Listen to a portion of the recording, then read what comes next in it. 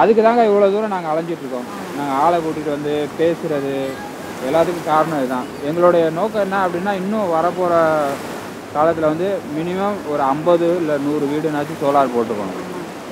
மாதம் ஒரு முந்நூறுரூவா முந்நூற்றம்பது ரூபா கட்ட முடியுமா முடியாது? சரியாக கட்டுவீங்களா?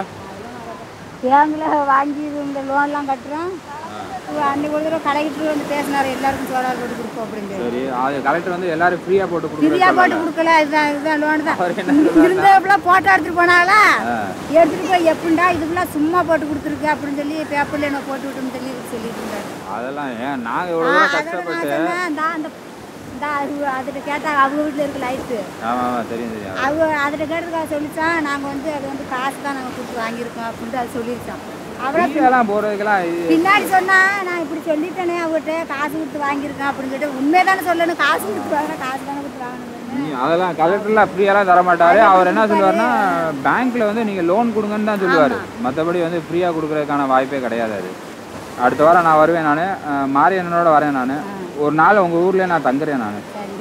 சரிங்களா? தங்கி சோலாரை பத்தி எதுவும் வேற எதுவும் தகவல் எதுவும் சொல்லணுமா? தேவையில்லைல்ல. சோலார் எப்படி வேலை பார்க்கும்னு தெரியும்ல? தெரியும்ல? சரி அது ஒன்றும் பிரச்சனை இல்லை. லோன் மட்டும் எவ்வளோ லோன் வேணும்னு சொன்னா போதும். அதானே? மாதம் எவ்வளோ பணம் கட்டணும் நீங்கள் முன்பணம் எவ்வளோ கட்டணும் அது சொன்னால் மட்டும் போதும் இல்லை நீங்கள் ரெடி பண்ணிடுவீங்க எல்லாமே. ஆ? சரிங்க ரொம்ப நன்றி.